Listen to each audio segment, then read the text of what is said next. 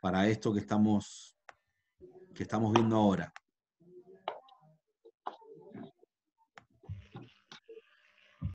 Vieron que el chico en el video eh, enfría y comprime.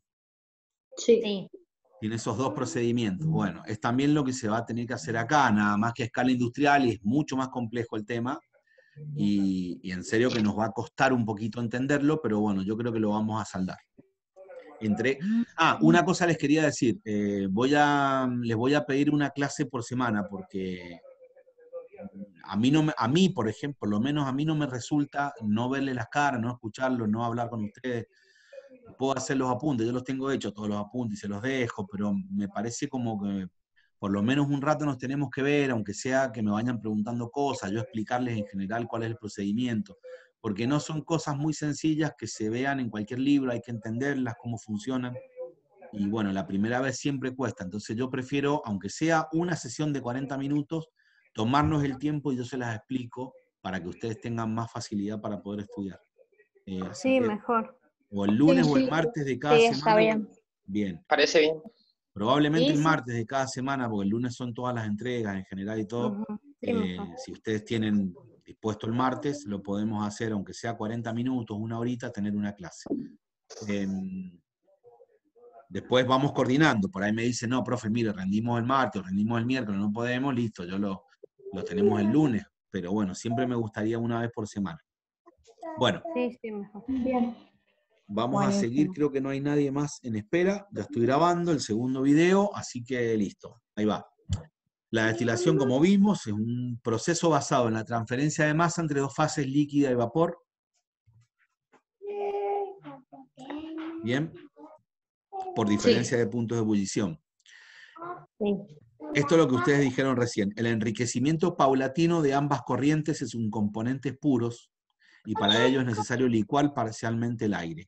Esto es lo que me dijeron recién. Yo les decía que se arrastraban moléculas de eh, líquido, digamos, en el vapor y que quedaban moléculas de lo que era vapor, se quedaban en el líquido. Bueno, enriquecimiento se le llama a eh, extraer cada vez más las moléculas, ahí viene Melissa, las moléculas de líquido que quedaron en el vapor y las moléculas de lo que posteriormente fue vapor que quedaron en el líquido.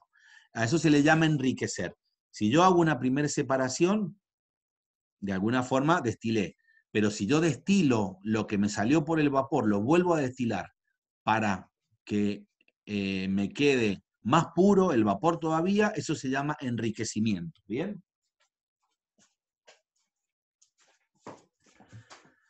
Bueno, tenemos que llevar el aire a estado líquido. Para llevarlo al estado líquido necesitamos bajar la temperatura de ebullición hasta el más difícil que es el nitrógeno.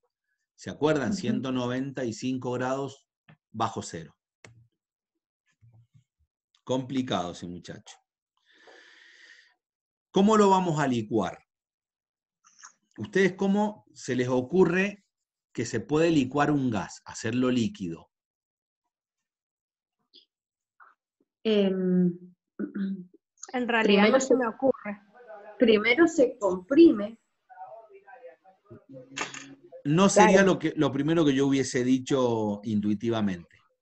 ¿Qué, hacemos para cambiar de estado con un compuesto, por ejemplo? Lo, lo más común calor. Claro.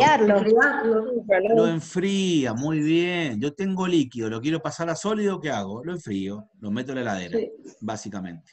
Entonces, ustedes se van a dar cuenta que esta unidad, como en realidad lo que, lo que esta materia pretende no es solamente enseñarles los procesos industriales, que yo les puedo dar el libro y lo ven de ahí, sino aprender a pensar los procesos industriales desde la intuición común de lo que nosotros hacemos en nuestra casa y llevarlo a una escala industrial.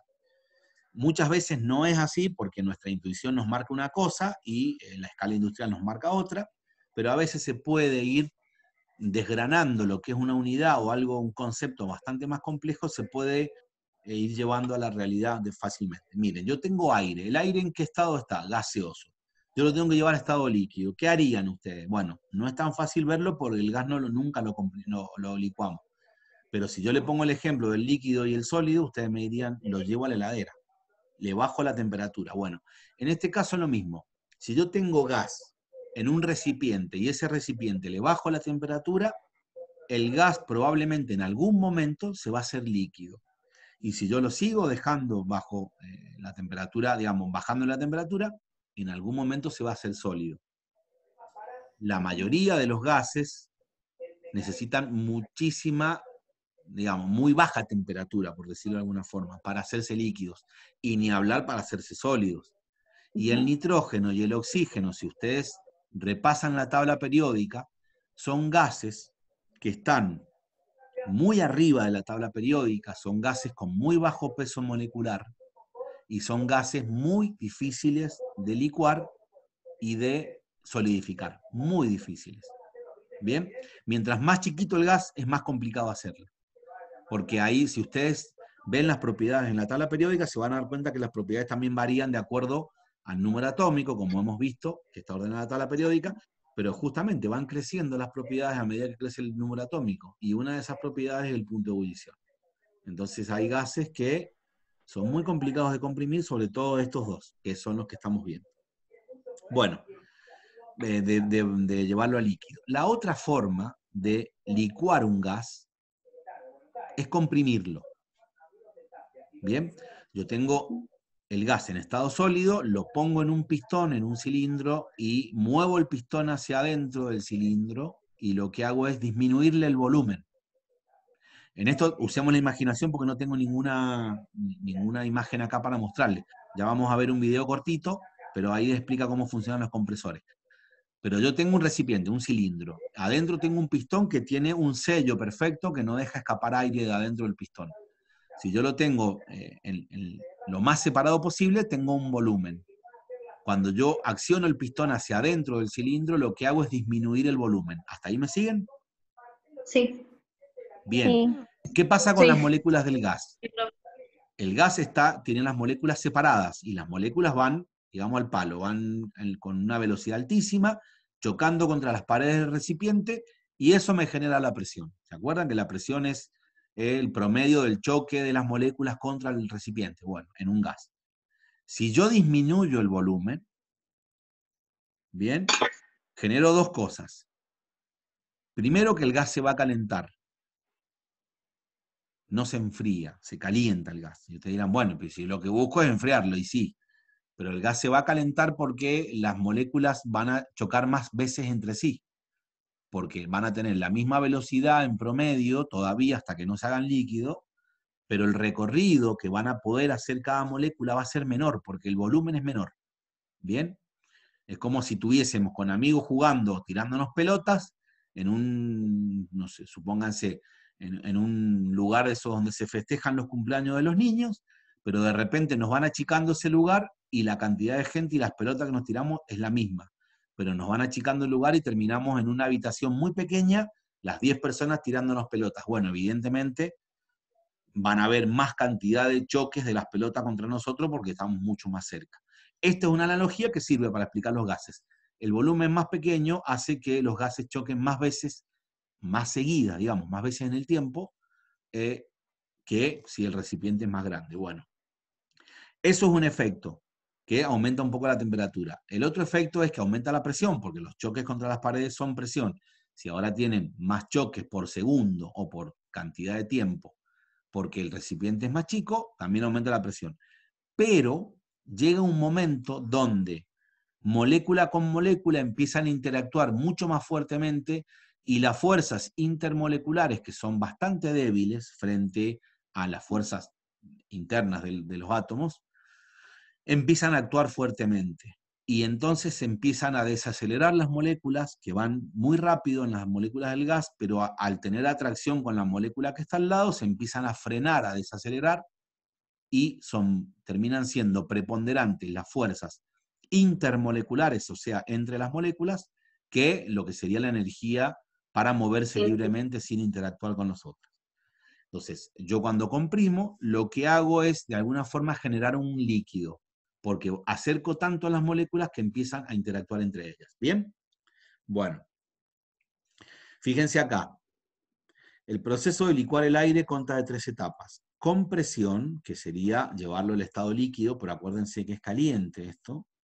Intercambio de calor para sacarle eh, el calor que tiene adentro y enfriarlo de alguna forma. Y expansión. La expansión, ya vamos a ver, no sé si lo vamos a ver en esta clase, pero se usa lo que se llama el efecto Joule.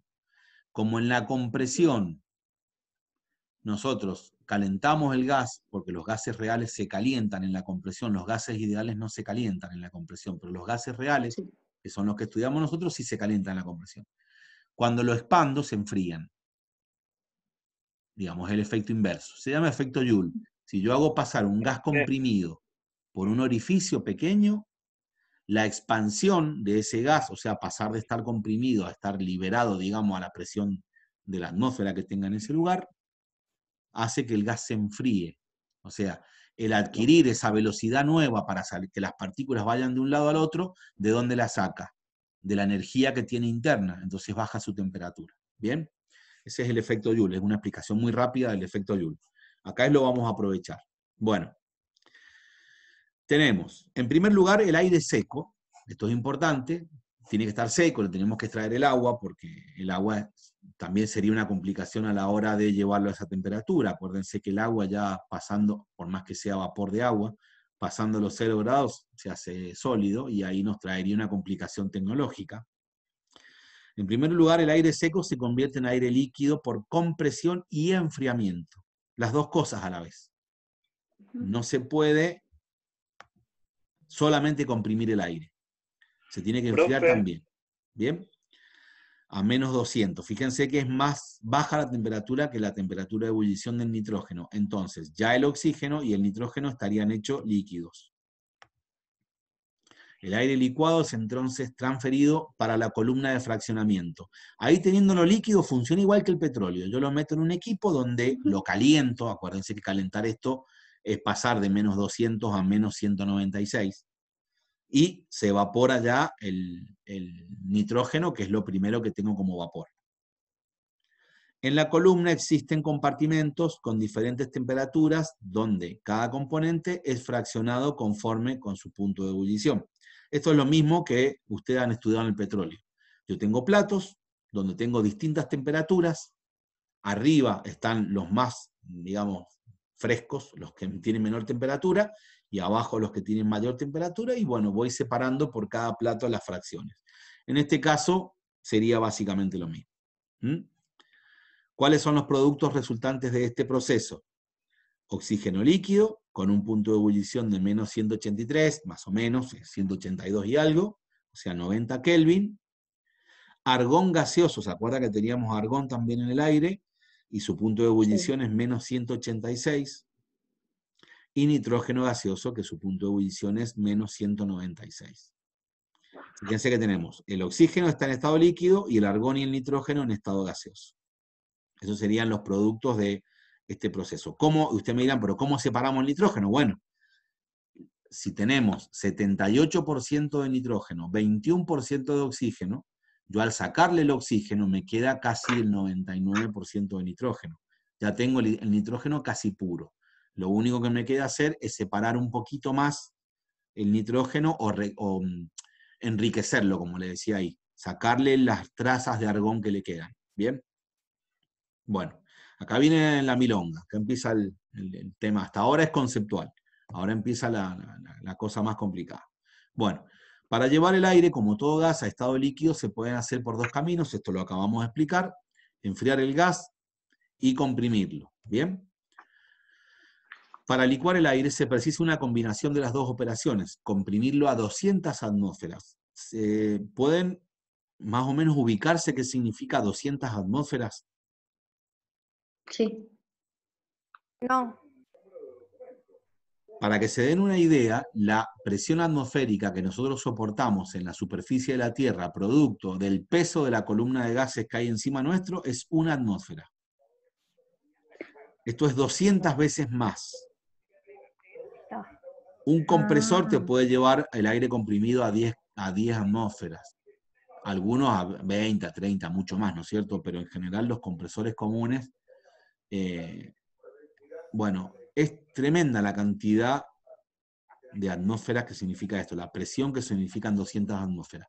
por cada 10 metros de columna de agua que tenemos encima de nuestra cabeza, le tenemos que sumar una atmósfera más. Por ejemplo, si nos vamos al fondo del mar o en una pileta que tiene 10 metros, ya tendríamos el peso de la columna de gases, que es una atmósfera, más el peso de la columna de agua de esos 10 metros, que es otra atmósfera más. Soportaríamos dos atmósferas a 10 metros de profundidad. Dos atmósferas. O sea, calculen 200 atmósferas. Tendríamos que irnos a 2.000 metros debajo del agua. Es una presión realmente tremenda. Bueno, se tiene que comprimir a esa presión y enfriarlo a 200 grados bajo cero. Eso es un compresor.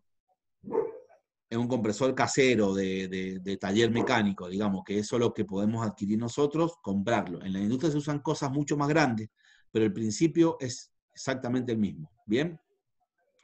Y quería ver si lo podemos... Eh, aquí les voy a compartir el compresor. ¿Y ese compresor a cuánto puede, a cuántas atmósferas lo puede llevar? No, este chiquitito, 10, 15 atmósferas, 20 como mucho, depende cuál, la marca que sea, y encima este es de una sola etapa, ¿no? Este te lleva 7, 10 atmósferas. Ahora, ahí va a explicar lo de las múltiples etapas de los compresores, me parece importante porque se entiende muy bien en el video, para que cuando les hablen de compresores, ustedes entiendan que funciona de esta forma. ¿Ahí lo están viendo el compresor? Sí. Sí, sí. Bueno, escuchemos un segundito.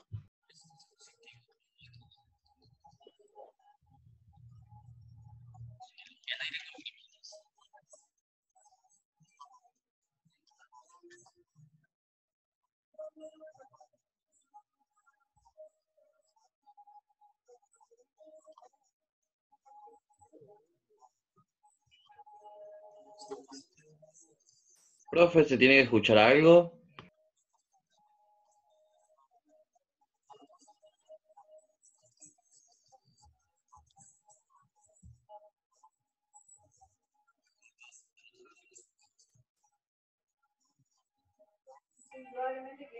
Vemos, pero no escuchamos. Perdón. No se escucha, profe. ¿Cómo? No se escucha nada. Ah, ¿no se escucha el video? No. Uh, no, no, yo tampoco lo escucho. menos mal que me avisaron porque si no hubiera sido... Eh, pucha. Bueno, no, entonces se lo voy a explicar. Sí, sí, sí, no hay drama, esto está en el PowerPoint, lo pueden ver, se lo puedo pasar. Era para que lo vieran ahora, justamente, pero bueno, eh, me parece que... Mm, Profe, ¿nosotros nos escuchan? Yo a ustedes sí, eh, digamos, algunos ah, más, a otros menos, porque hay algunas que salen muy, muy bajito, pero... Em, Profe, yo recién le quería hacer una pregunta. Decime. Vio que cuando dijo de, de comprimirlo o bajarle la temperatura. Sí. Eh, ¿Se acuerda que hizo la pregunta de cómo lo haríamos para hacerlo líquido? ¿Y por qué no calentarlo? Porque se va a transformar en agua y se va a combinar y va a ser más difícil. ¿Por qué no? No te escuché esa parte. No calentarlo. Vio que Ignacio también preguntó. Eh, lo que voy es, ¿por qué no calentarlo? ¿Porque se va a transformar en agua y va a costar más después separarlo? ¿O por qué? ¿El qué se transformaría en agua? El gas Estamos hablando del aire. sería. Claro. Eh, no, no entiendo cómo se transformaría el agua si es oxígeno y nitrógeno. por eso le pregunto, como dijo que era del ambiente, de la, atmósfera, eh, ¿vio cómo se, se obtiene agua a través del calentamiento? Y bueno, pero ahí pensá que el agua que se, obtiene, que se obtiene del aire es la mínima agua que hay como en forma de vapor de agua, que eso es la humedad ambiental que hay hay una mínima porción del, aire, de la atmósfera, que es agua, pero muy poquita, menos del 1%, mucho menos. Ah, ah, por eso no serviría entonces. Eso es lo que vos haces, es condensar ese poquito agua que hay, pero el aire es mucho más cantidad y no, no, la verdad que no, no, no hay forma que se produzca agua con calentando el aire, porque es nitrógeno y oxígeno, ¿no? Si se combinan no dan agua entre ellos. No, sí, sí. No, no, pero yo pensaba por el oxígeno como es del ambiente. Sí, por eso, pero el oxígeno para que se convierta en agua se tiene que combinar químicamente con hidrógeno, no, no se convierte porque sí. No, no, sí, ya sé, por eso. Bien, no, como no hay hidrógeno, no, no, no, no lo podríamos convertir en agua. Bueno, no importa, volvamos al, a la punta. Ahora, ahora les eh, acepto la otra pregunta, pero bueno, más o menos, lástima que no se ve el compresor, yo se los dejo, véanlo, porque está bastante didáctico. Eh, tenían otra pregunta por ahí, una chica me parece. ¿No? No. Bueno, hay una televisión prendida por ahí. Bueno, sigamos con esto. Entonces, usamos esos dos métodos, lo comprimimos y lo enfriamos. Acuérdense que cuando comprimimos un gas se calienta, entonces también hay que usar el enfriamiento en la propia compresión. Yo les muestro este diagrama. Eh, ustedes están viendo todo porque yo acá tengo los botoncitos del zoom que no me dejan ver una parte del diagrama. ¿Ustedes lo ven bien el diagrama hasta abajo? Sí, se ve completo. Sí, yo sí. Ah, entonces, perfecto, voy a subir esto hasta acá. Muy bien, bueno, buenísimo. Este es un diagrama que se usa para explicar cómo funciona la extracción del aire, del nitrógeno y el oxígeno del aire. Es un diagrama que se llama TS. Y es un diagrama eh, que está representado en ordenadas y en abscisas, o sea, en el eje X y en el eje Y. Ahí tienes, en el eje X serían la entropía, y lo que sería el eje Y sería temperatura. Por eso se llama TS el diagrama. Aunque la entropía es un concepto que en general nos genera a nosotros que somos más, digamos, mortales, que no somos tan físicos teóricos ni químicos muy avanzados, nos genera una complicación del entendimiento, pero este diagrama nos viene muy bien para explicarlo. Eh, no nos vamos a centrar en el concepto de entropía, pero eh, muy rápidamente mientras un compuesto esté con las moléculas más ordenadas, o de alguna forma use una configuración donde sea más probable que encontrarlo ordenado, digamos la entropía es baja, y si está muy desordenado, la entropía va a ser alta. La entropía en realidad es una medida termodinámica, pero lo que mide básicamente es la, son los eh, estados de mayor probabilidad. La gente dice que mide el desorden, pero no mide el desorden pero no importa. Entendámoslo de esa forma que es más fácil. si nosotros tenemos un gas, tiene entropía alta, y tenemos un sólido, tiene entropía baja porque está más ordenado. Bueno, en este caso, vamos a ver que en este diagrama se representan los valores de entropía abajo, en el eje X, y en el eje Y los valores de la temperatura. Son rectas perfectas, ¿sí? Ahí lo vamos a ir viendo. Para llevar el aire al estado líquido se precisa comprimirlo a 200 atmósferas, como dijimos, pero también se debe enfriar. Para entender estos procesos usaremos este diagrama TS. A este le he puesto animaciones, así que espero que funcione bien y lo entiendan. Vamos al diagrama TS del aire. Ustedes miren básicamente el diagrama, ¿no? Yo les voy a ir explicando. Un proceso isoentrópico, o sea, un proceso que se desarrolla a entropía constante, se representa como con una línea vertical. ¿Ven? Para abajo o para arriba puede ser. Yo le he puesto una flecha hacia abajo, pero puede ser una flecha hacia arriba. Todo lo que se mueva en sentido vertical, estamos hablando de un proceso que se desarrolla a entropía constante. ¿Bien? ¿Qué sería esto? Por ejemplo, miren, acá la temperatura. Las temperaturas están en Kelvin, por eso las van a ver así. ¿Dónde estaría el 0 grados nuestro Celsius? Acá. ¿Bien? Entre 280 y 260 serían los 273 Kelvin, que sería el 0 grados Celsius. Esta que está marcada acá en punto sería la temperatura ambiente, supónganse 20 grados Celsius, ¿bien? Bueno, ¿qué pasa si yo paso de 0 grados o 300 Kelvin o 293 Kelvin, temperatura ambiente, le bajo la temperatura a algo, pero sigo este camino, yo estoy haciendo una, un enfriamiento, pero isoentrópico, ¿bien? Eso tiene consecuencias tecnológicas. Yo tengo que usar un equipo que tenga determinadas características para que sea isoentrópico.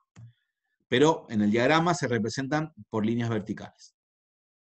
Un proceso isotérmico, o sea, comprimirlo o expandirlo, pero a la misma temperatura, necesariamente tiene que ser una recta vertical, eh, horizontal. Bien, como la punteada que está arriba. Por ejemplo, así. Un proceso que se desarrolle desde acá hasta acá, que sería estas son las isobaras, fíjense. llevarlo de una atmósfera a 100 atmósferas, comprimirlo, pero si lo quiero hacer isotérmico, tengo que recorrer esta línea, sí o sí. Son procesos isotérmicos, son horizontales. Un proceso isobárico, recuerden que isobara son eh, la, la, línea que une las presiones iguales, ¿no? Estaría representado por las líneas curvas descendentes de derecha a izquierda, que están representadas por esa línea verde, que no se ve, sí se ve bastante bien. Todas esas líneas descendentes de derecha a izquierda son isobaras. ¿Bien? O sea, esta, esa, esa, esa, esa. También está el borde. Fíjense qué presión tiene esta del borde, 200. Y las isobaras están en atmósferas, así que están representadas las 200 atmósferas que necesitamos llevar nosotros. ¿Bien? Acá en la primera es una atmósfera, que sería lo que la presión ambiental nuestra. Hay un detalle, fíjense dentro de esta campanita que ven acá. ¿Cómo hacen las isobaras? Una isobara viene así, cayendo hacia la izquierda, pero acá en la campana van casi rectas, horizontales. O sea que un proceso isobárico dentro de la campana iría en una línea horizontal.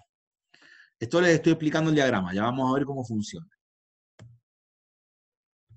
Bien.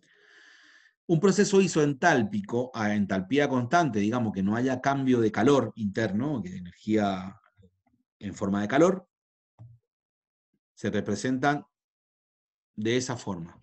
O sea, todas estas líneas que están acá, esas líneas curvas que ven ahí, son todas líneas de isoentálpicas. Son líneas que se desarrollan en un proceso que en donde no hay cambio de energía calórica del cuerpo.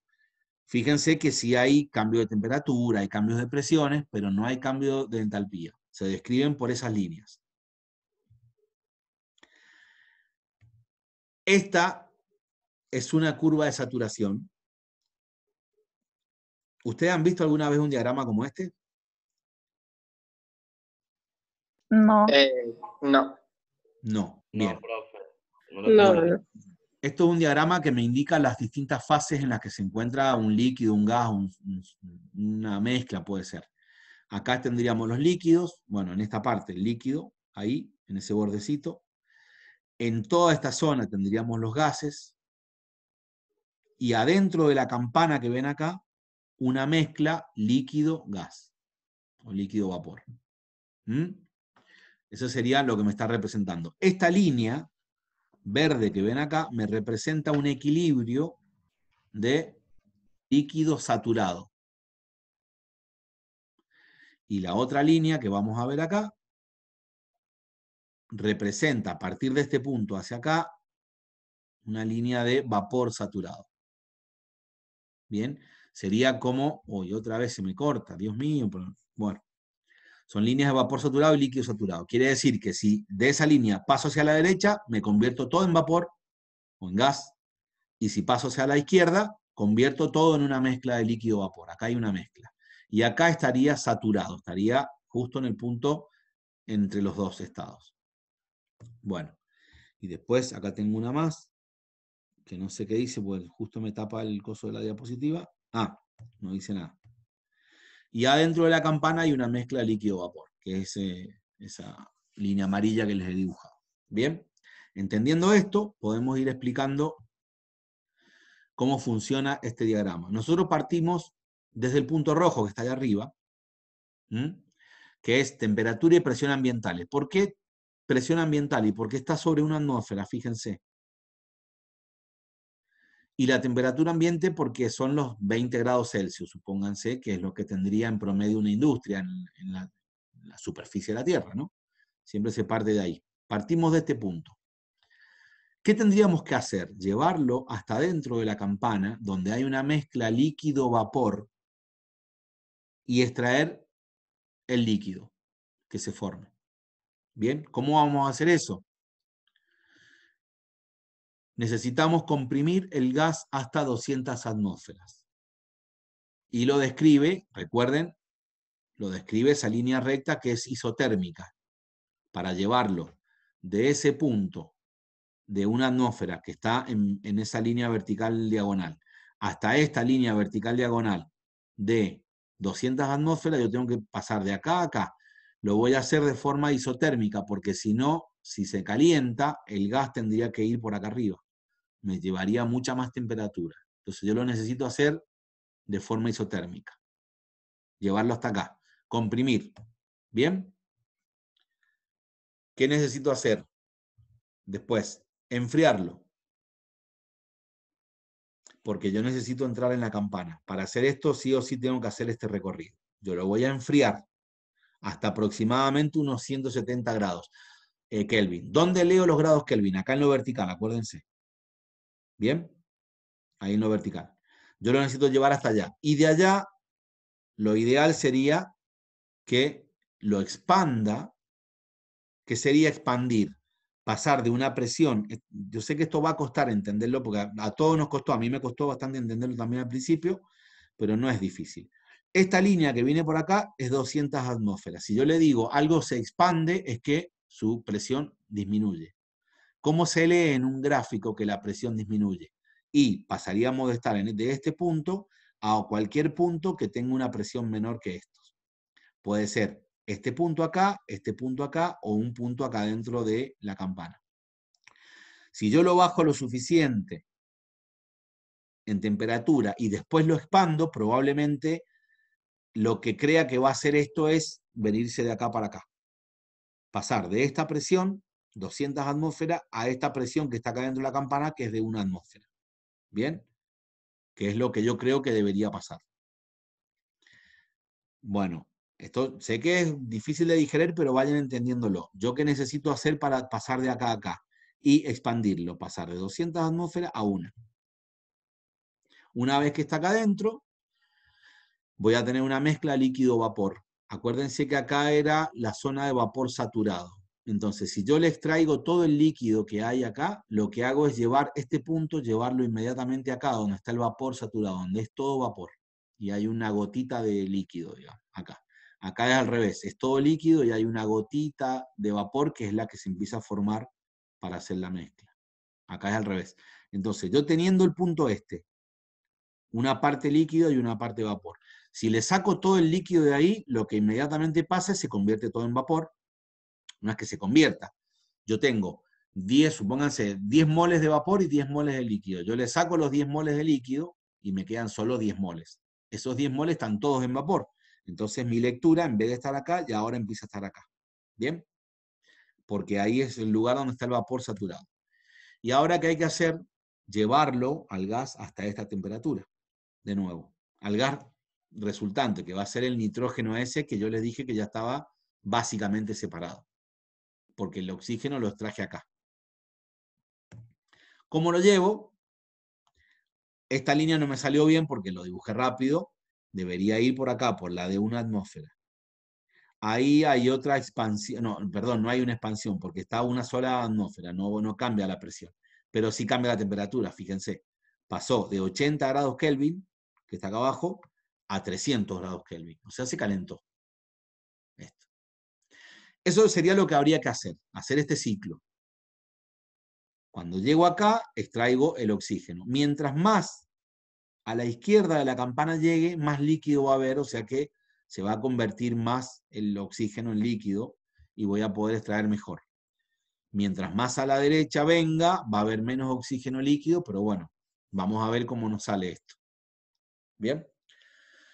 Por motivos tecnológicos, de materiales y resistencias, a las bajas temperaturas, imagínense que a 80 grados Kelvin, estamos hablando de una temperatura extremadamente baja, 270, o sea, 80 menos 273 sería muy, muy bajita, no se puede lograr perfectamente esto. Esto que vimos recién de llegar hasta este punto. ¿Bien? Entonces, se busca alguna alternativa. La compresión hasta 200 atmósferas hace que el gas se caliente, como les dije recién, esta compresión acá, la primera. Se debe enfriar por medio de las distintas etapas de compresión. En vez de comprimirlo en una sola etapa, ya cuando vean el video se van a dar cuenta cómo se comprime en varias etapas, entre etapa y etapa se enfría el gas, para que yo lo pueda llevar de acá a acá efectivamente. Si no, no lo llevaría. La, la línea me daría así para arriba. Entonces es una variante que tenemos que hacer. El enfriamiento hasta menos 170 grados se logra calentando el gas después de extraerle el oxígeno líquido. Y ustedes dirán, ¿qué? Bueno, este enfriamiento de este gas para pasar de este punto de cerca de 300 Kelvin a 170 Kelvin, acá me he equivocado, no es 170 negativos Celsius, es 65 negativos, eh, no, perdón, 170 Kelvin, hasta acá. Para llevarlo de este punto a este punto, ¿de dónde saco la energía para, para enfriar eso? Porque ustedes piensen lo siguiente, si yo enfrío algo, le tengo que agregar energía al equipo para enfriarlo, como la heladera.